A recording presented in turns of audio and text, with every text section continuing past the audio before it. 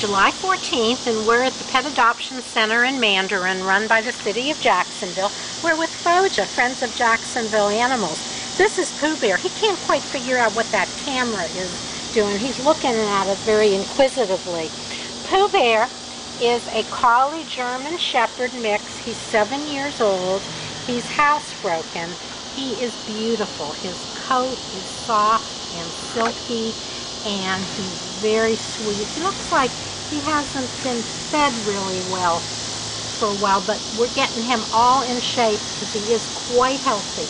And for those of you who like dogs that are a little bit older, who are settled and mature, this is the dog for you.